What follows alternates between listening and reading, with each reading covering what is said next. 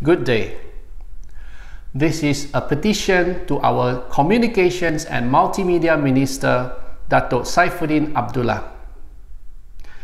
Dear Minister, you said, and I quote, all film producers must apply for a film production license and a filming authentication certificate, SPP, whether they are from mainstream media agencies or personal media producing a film on social media platforms or through traditional channels.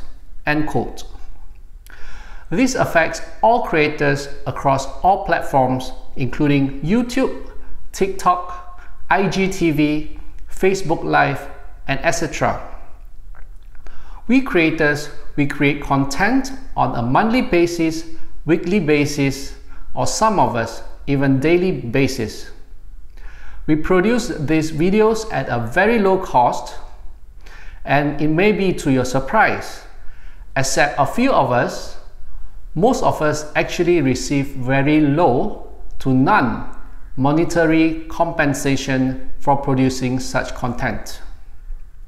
We have no means to apply for such licenses. How about those who share baby video, travel videos, or cat videos on their personal social media account. Do they have to apply for such license as well? This is impractical, unrealistic, and unreasonable.